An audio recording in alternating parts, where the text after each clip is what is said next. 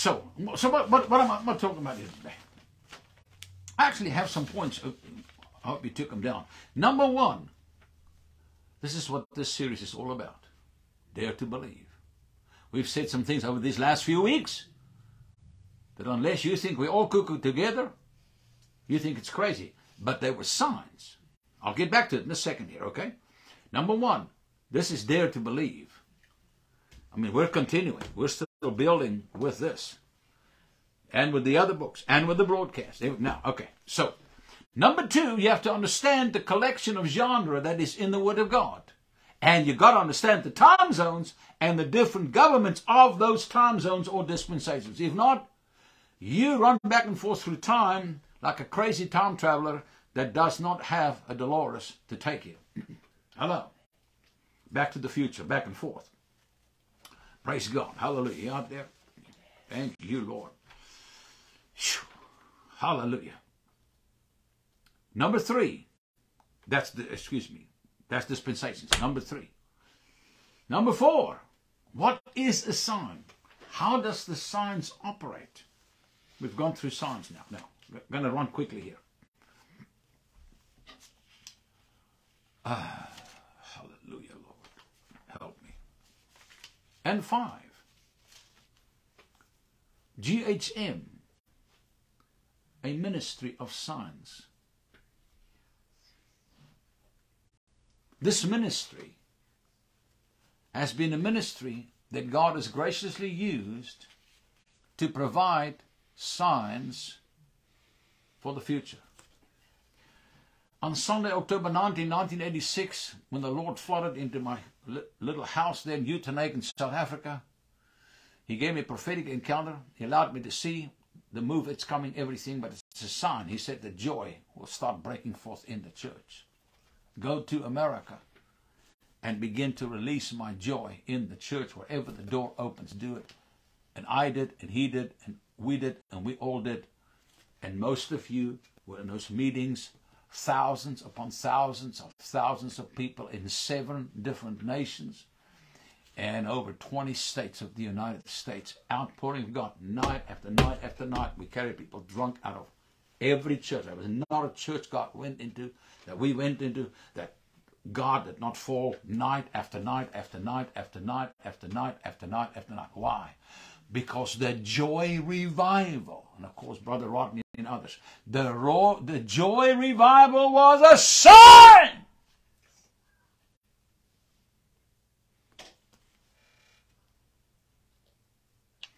It was a sign of the coming revolution of fire and glory.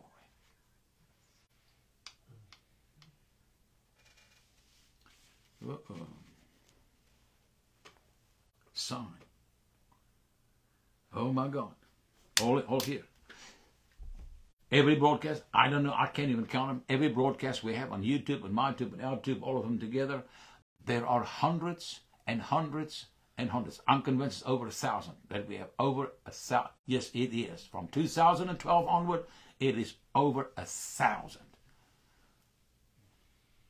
That every single week, except once in a while we have to break, we would bring you the pertinent, practical, applicable, down to earth, fresh in life, ready for today, prophetic message of God for the last days. Then in 2017, God began to say, okay, now you got to put it together with the apostolic and put it all in one book, 400 pages, so we know nobody would read it but those who are hungry. And then after that, more apostolic, more apostolic, more apostolic. So much needs to be corrected. The time is short. So little time available. You got to correct this whole system of Christianity. And you got to destroy Antichrist Christianity and give the church true Christianity. Now, many people are preaching these are the last days. We're right at the end. The outpouring is coming. The fire is coming. The glory is coming. The end time revival is coming. It's on its way in. Yes, hallelujah. Thank God we got people there and ministries all over the world that agree with us. But nobody is teaching true Christianity, which is the apostolic life of Christianity. The Lord said, let's teach on it, video after video after video after video. And He said, write a book. So we put the book out there. Hallelujah. It's a sign True Christianity is a sign to how the church will live once the fire and the glory has been poured out on the church. Hello. God's Gold and Glory Revolution is how the whole church will live once the fire and the glory is gone through, and then the glory of the Lord will from us. I'm going to get into I'm going to get into Isaiah 60. I thought I'd get that today, but I won't. But we will. We will soon. The glory of God, arise and shine, for your light is come, and the glory of the Lord is risen upon you. Behold, darkness shall be in the earth, and shall compel many people, but the Lord will arise over you, and his glory shall be seen upon you. The remnant. Oh my God. Oh my God. It's coming. It's coming. It's coming. Everything this ministry has done, specifically, particularly since 2007, in, in capital letters, bolded and underlined since 2020, God said, Go. You got three years, go raise up the remnant. Obey me, do this. Go to Phoenix, release the fire season. Doesn't mean it starts the same day do it on September 22nd of 2022. So we went to Phoenix, we did it. It's a sign. In time to come, you'll go back and we'll see that's where it started. Of course, the fire hit a few people, but that was not the outpouring, but the season was opened up and the season was, season was introduced. People don't understand that. They say when God says He's going to do something. He's going to do it before 7 o'clock tonight. But he sent us with the assignment to go to Phoenix and to go release and open and officially declare that the season of the outpouring of God's fire is now open. Thursday, September 22nd.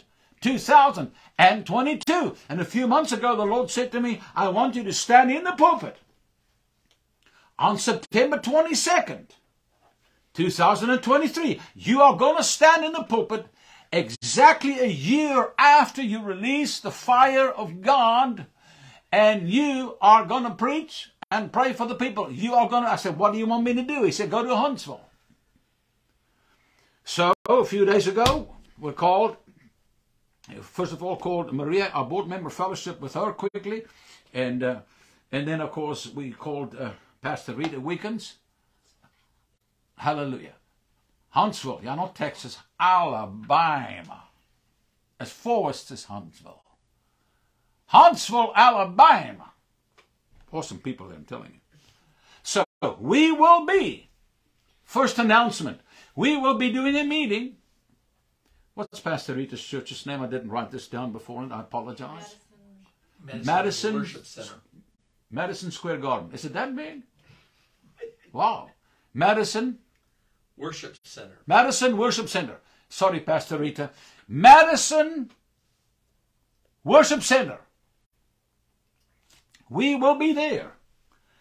We will be doing a meeting. I will, by the grace of God, stand in the pulpit, not in Phoenix, but in Huntsville, exactly one year from the time that we released the fire for the nations on Friday, September 22nd, and then on Saturday, September 23rd, and then Pastor Rita said to me, do the Sunday morning for us and the Sunday night service. We uh, announced it that far, and that's what the Lord said to me. I said, yes, sir. Talked to my wife about it. We got together, and there's the first announcement. Hallelujah. We are getting back on the road, and I want to tell you this right now. We're getting back on the road. Ain't going to stop there. These things are going to start coming. I, I, oh, my God.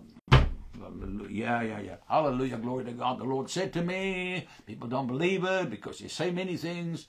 Before this year is out, there is going to be some radical movement made by God in the spirit and in the natural. Hallelujah.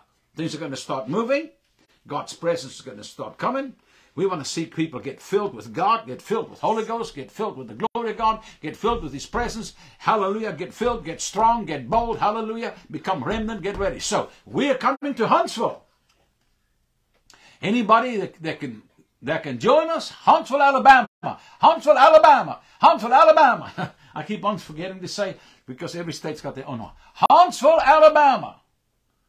Where they got a aeronautical center, a NASA center that, that do some work there. Huntsville, Alabama. It is going to be Friday, September 22nd, Saturday, September 23rd, Sunday, both services, 24th. Friday, Saturday, Sunday. September 22nd, 23rd, 24th. We are so excited. We're going to be in the city of Huntsville, Alabama. Hallelujah. And God is going to meet us there. He just, it's amazing how he said to me, I want you in the pulpit. I said to you one day, a few months ago. He said, I want you in the pulpit. I said, I know. He said, well, go then. I said, I said, so, so, so where do I go? He said, and then he turned around and said, no, I want you in the pulpit September 22nd. I said, okay, where do you want me to go? He said, go to Huntsville. I said, okay, we'll go to Huntsville. All right, so we're coming. First announcement, hallelujah. Now let me say this to you. This is going to be an extremely important message. Meeting, excuse me. If you can be there, be there. It's just a weekend. Hallelujah. Great things are going to happen. Hallelujah. And so we talk about all that this ministry is doing the signs, the signs, the signs, the signs, all the things that have come to pass.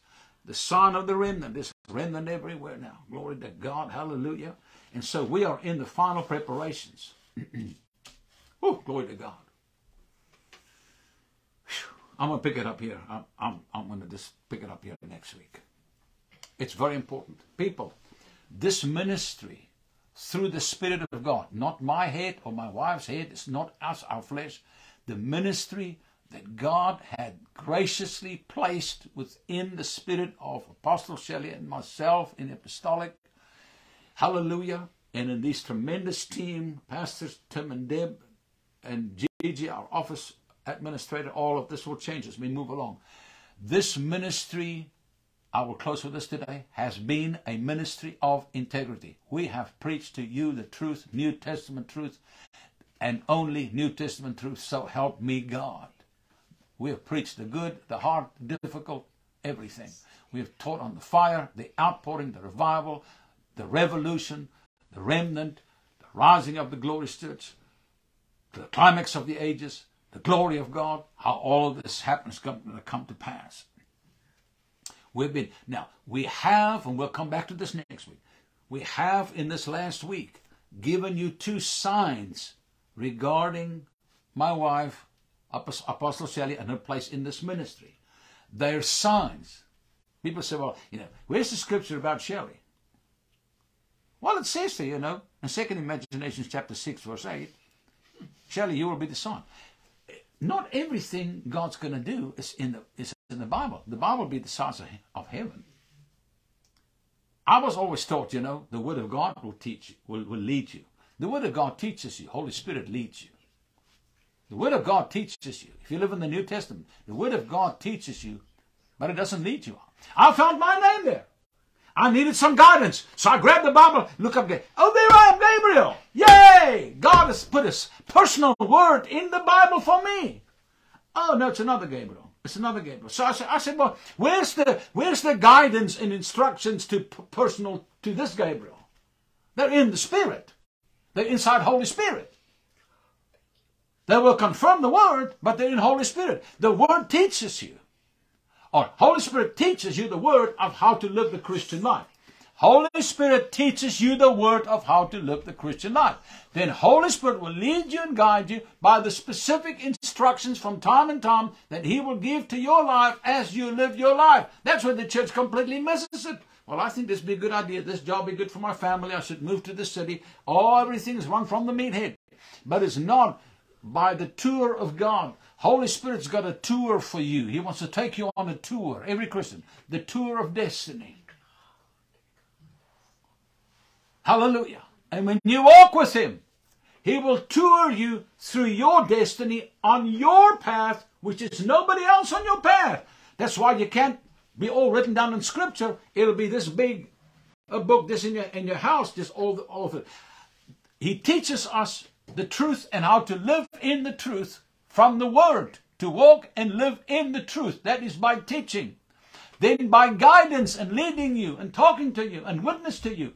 He will lead you if you are in fellowship with Him and you walk with Him in that fellowship and you walk in relationship with Him. He will lead you and guide you. We say daily, you don't need guidance every day. Sometimes you get started with something, it may take a week or so, but any time in your future when it's time for you to have new guidance, He will be there, He will show up, He will tell you, He will lead you, you will guide, He will guide you, and you don't have to mess up your life and live some dumb, stupid, half confused, messed up, miserable, unhappy, sad, depressing Christian life. Why does the church live that way? Because they have taken Holy Spirit and threw him out with the baby in the bathwater and said, Well, you know, you just got to read the word and figure it out yourself. No. You got to read the word and say, Holy Spirit, be my teacher of the word. Teach me the life, the nature, and the truths and the revelations of Christ that I can walk in them. Number two, walk with me as my friend and be my guide and my leader, helping me, leading me, showing me, telling me, turning me, taking me. Hallelujah. Let's go on this glorious journey together. Hallelujah. Jesus promised it. Jesus said, John 16, 13, but when he, the Spirit, the person, the Spirit person of the truth is come, he, he prophetic words, what everybody else feels, their interpretation of the Bible, what your pastor thinks, what the pastor's wife suggests, all of them will lead and guide you. No, no, no. He, but when He, the Spirit of truth is coming, He will guide you. He alone will guide you, will lead you and guide you into all truth. All. Well, I thought I'm supposed to get some from the prophet. No, the prophets will confirm as God wills. They're not the guide, they're the confirmer. Oh, you know, but I go these people all the time. They always prophesy over me. You're out of order. Uh, you're in error. Go back and read what Jesus said. This is why it's so important that the apostolic truth be restored to the church because the church is so out of order. Apostolically, with wrong, false, stupid, man-made imitating doctrines and completely out of whack, prophetically don't know what the time is, when we're living in, what's happening, where the heck we are, what's going on. That's why the church is defeated if she could have been by now. Thank God she can't be defeated. She's trying to defeat herself. The church, the devil, the Antichrist, the false prophet, and any dumb, dumb demon from hell, all working together to try and destroy the church. But Jesus said, I will build my church, and the gates of hell shall not prevail against it, even when it looks like it's going down now. Just one nostril above the water is about, about to drown. Uh-uh. He'll pull this thing right out of the water, boy. I'm telling you.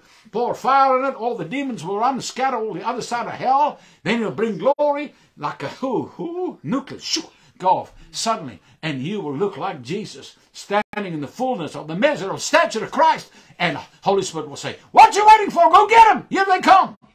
Just like Isaiah said, they'll start running. Hallelujah. Oh, for his glory shall arise upon you. Hallelujah. And his glory shall be seen upon you. Then they will come. The, the, the heathen will come from every nation, everywhere, run to you. Hallelujah. You don't even have to go get the harvest. The harvest will run to you because they see the glory and they come running into the glory. And it's the glory. People have this thing on every street corner, somebody will stand preaching the Bible. Are you absolutely stupid and dumb and out of your mind? The glory of the Lord will hit over a billion people and go to so many people, spread to so many people, and instantly getting born again. The fire cleanses them, the glory fills them. Then they run and touch somebody. Then, I tell you, you just get right in their presence. Boom! Hallelujah.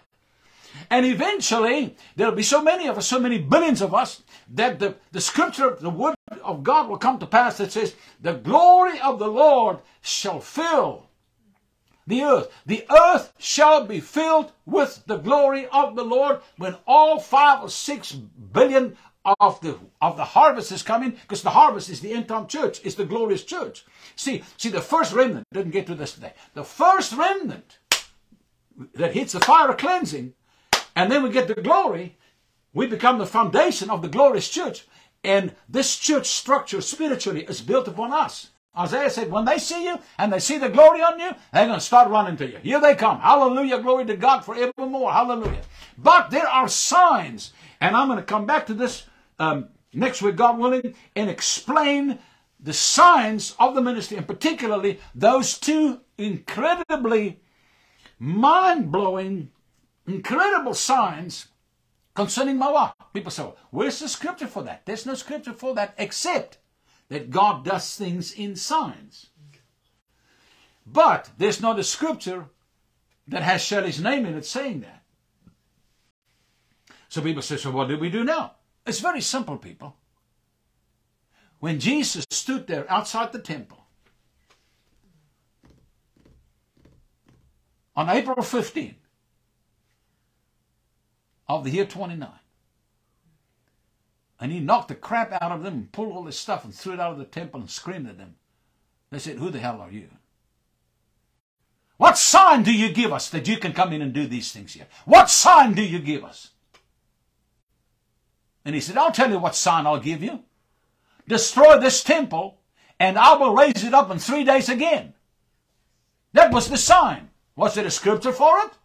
No. The sign doesn't have a scripture. It's a token. It's a promise that will come to pass. And every sign that God has given in the Old Testament and the days of Jesus, all of those signs, they've all come to pass. The sign of the, of the virgin birth, the sign of the Messiah, the sign of the crucifixion and death, the sign of the resurrection, the sign of the ascension, all of the sign of the outpouring of the Spirit. They were all signs that came to pass. And what the Lord said to us, and there be other signs God may give you signs about your family or not. Don't look for signs. Don't ever look at it. Come, I tell you, come. He'll, he'll, he wants you to have a sign. He's going to scream at you. Tell me. I tell you, promise you. So, what the Lord said about my wife in these last two weeks, we're going to come back to that next week. Oh my God.